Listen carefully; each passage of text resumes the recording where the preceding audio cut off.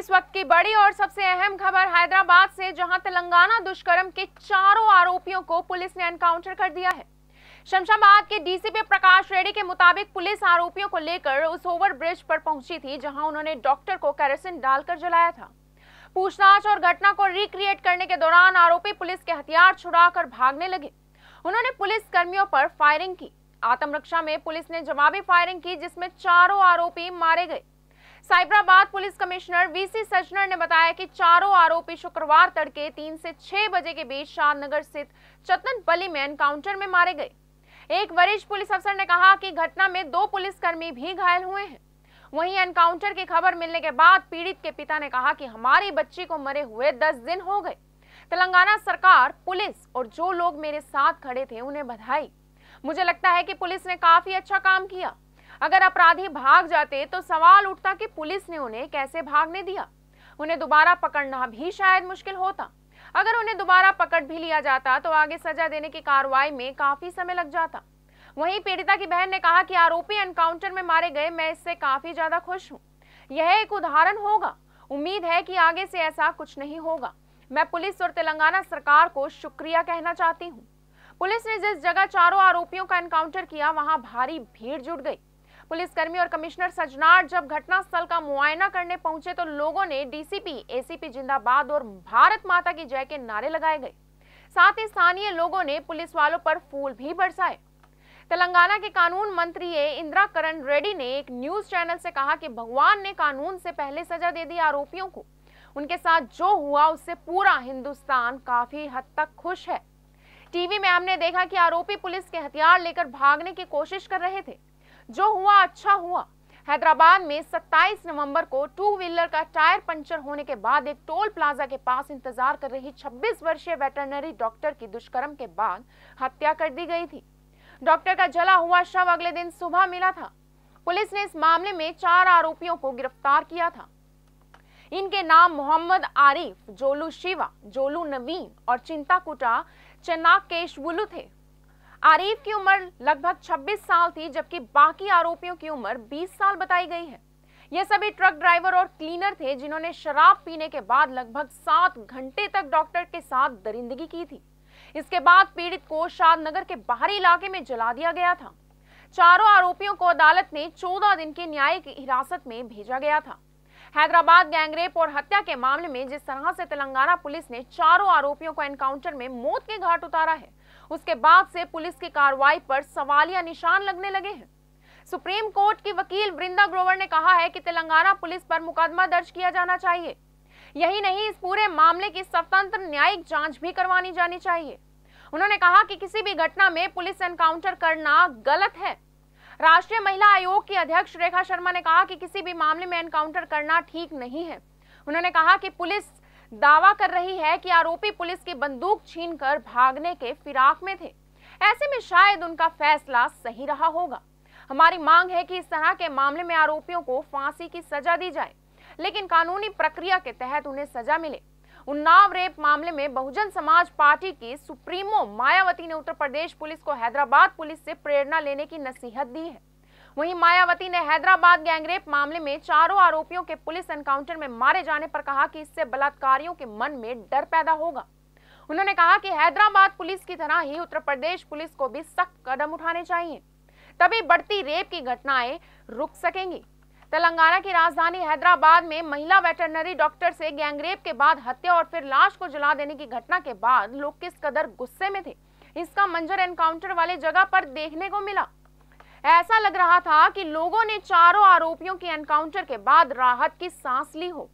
लोग इतने ज़्यादा खुश थे कि वो पुलिस वालों पर फूल बरसाने लगे। साथ ही हर तरफ़ लोग पुलिस वालों की तारीफ़ में जय हो के नारे लगा रहे थे।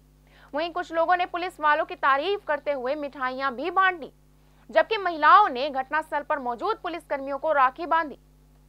इसे संयोग ही कहा जाएगा कि ये सभी आरोपी पुलिस एनकाउंटर में ठीक उसी जगह मारे गए जहाँ 10 दिन पहले इन सबने गैंगरेप को अंजाम दिया था।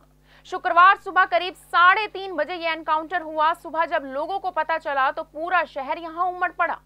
पुलिस की टीम एनकाउंटर वाले जगह पर जाँच कर रही थी और पुल पर हज़ारों लोग खड़े हुए थे। इस एनकाउंटर को देखकर लोग इतने ज़्यादा खुश थे कि वो पुलिस वालों पर गुलाब की पंखुड़ियाँ बरसाने लगे और जय हो के नारे लगाने लगे। देश में रेप के मामलों में आरोपियों को सजा देने में कितनी देरी होती है, इससे हर कोई वाकिफ है। दिल्ली में निर्भया कांड को सात साल बीत गए हैं, लेकिन आरोपियों को अभी तक फांसी की सजा नहीं मिली है। ज़ाहिर है कि हैदराबाद में महिला वेटरनरी डॉक्टर से गैंगरेप के बाद हत्या और फिर लाश को जला देने की घटना के बाद देश भर में लोगों का गुस्सा फूट पड़ा। लोगों को लगा शायद इस केस में भी आरोपियों को सजा मिलने में सालों लग जाएँगे। हालाँकि एनकाउंटर में आरोपियों को मार गिराए जाने के बाद लोगों ने राहत की सांस ली है। लेकिन क्या आप जानते हैं कि ऐसी ही घटना हैदराबाद में 11 साल पहले भी हुई थी और तब आज के पुलिस कमिश्नर सीपी सजनार वहाँ पुलिस सुप्रिंटेंडेंट थे? यह घटना लगभग साल 2008 की है, जहाँ आंध्र प्रदेश के वारंगल में तीन आरोपी पुलिस की हिरासत में थे।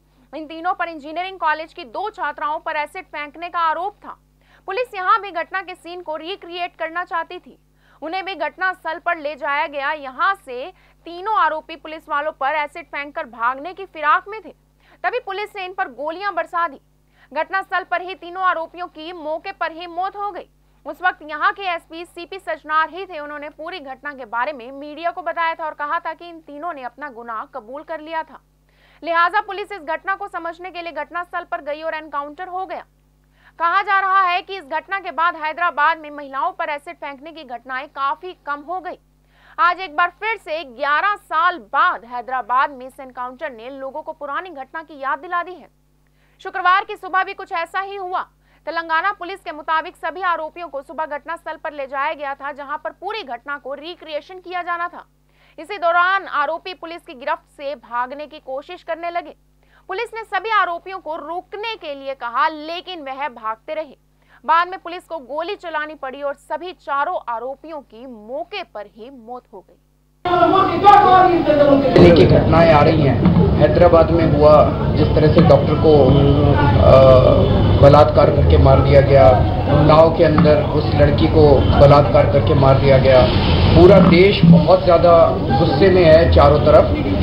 तो जो एनकाउंटर हुआ पूरे देश में, उसकी वजह से लोग बहुत खुशी ज़ाहिर कर रहे हैं और संतोष ज़ाहिर कर रहे हैं। लेकिन ये भी चिंता का विषय है कि जिस तरह से लोगों का पूरे क्रिमिनल जस्टिस सिस्टम से और इन्वेस्टिगेटिव एजेंसी से भरोसा उठ गया है। तो हम सब लोगों को पूरे देश को और समाज को मिलके इस बारे में चिंतन करना पड़ेगा और सभी सरकारों को मिलके इस पे तुरंत एक्शन लेना पड़ेगा कि किस तरह से क्रिमिनल जस्टिस सिस्टम को भी और इन्वेस्टिगेटिव एजेंसीज के सिस्टम को भी दुरुस्त किया तो निर्भया के मामले में सात साल हो गए राष्ट्रपति के पास अब मामला पहुँच रहा है क्या चाहते कि उम्मीद करता हूँ मैं भी इस बात से दुखी हूँ कि उनको सात साल हो गए।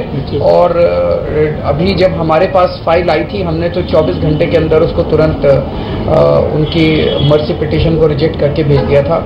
और मैं अब उम्मीद करता हूँ कि राष्ट्रपति जी भी उनसे भी मैं अपील करता हूँ राष्ट्रपति जी से कि वो निर्भया के दोषियों को मर्सी पिटिशन को खारिज कर दें और तुरंत उनको फांसी के फंदे तक पहुँचाया जाए। बहुत भयानक हुआ है इस देश के लिए। क्योंकि आप कानून को अपने हाथ में नहीं ले सकते हैं। कानून में वैसे भी उनको फांसी मिलती। अगर आप उनसे पहले ही उनको बंदूकों से मार दोगे तो फिर फ़ायदा क्या है अदालत के फ़ायदा क्या है पुलिस की फ़ायदा क्या है कानून की? फिर तो आप बंदूक उठाओ और जिसको भी मारना मारो। लीगल होना चाहिए था। हिंदुस्तानियों के दिल को शकुन मिला है। कानून की दृष्टि से चाहे लोग इसकी जैसी भी व्याख्या करें, लेकिन मैं मानता हूँ कि जो इस तरह के अपराधी होते हैं, कलंक होते हैं, जिनसे पूरा देश, धर्म, संस्कृति बदनाम होती है, उनके साथ, और जो आतंकवादी उनके साथ तो ऑन द स्पॉट हमारी पुलिस को अर्धसैनिक बलों को और सेना को ऐसी कार्रवाई करनी चाहिए। जिन घटनाओं में संदेह नज़र आता है, उन घटनाओं को हमें आगे कोर्ट में ले जाना चाहिए। उसके ऊपर जो भी कानूनी प्रक्रिया है, उसमें एविडेंस हैं, उसके आधार पर कानूनी जो प्रक्रिया है, उसका रास्ता अपनाना चाहिए। लेकिन जो इस तरह के खूंखार, एक तरह के अपराधी हैं और जो चरित्रहीन हैं और जो आतंकवादी आदि घटनाएँ करते हैं, उनके साथ तो ऑन द स्पॉट ऐसे ही न्याय होना चाहिए। रही बात, इन घटनाओं की पुनरावृत्ति ना हो, इसके लिए माता, पिता, अर्थात परिवार, समाज और सरकार को मिलकर के ऐसे एक दिव्य संस्कारों का वातावरण देश में बनाना पड़ेगा, जिससे कि इस तरह की घटनाओं से देश को संसार ना होना पड़े।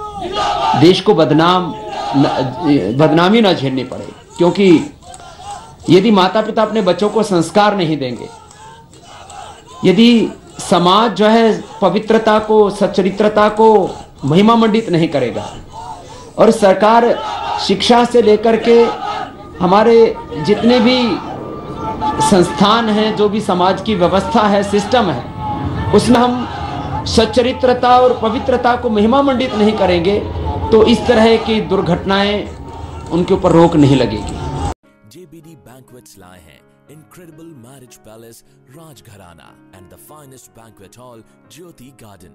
World class catering, centrally air conditioned, lush green lawns, state of the art lighting. A perfect venue for wedding, launching and parties. Rajgharana and Jyoti Garden at JBD Banquets Enterprise. ऐसे ही लेटेस्ट खबरें पाने के लिए bell icon को click कर हमारे channel को like, share and subscribe करें। धन्यवाद।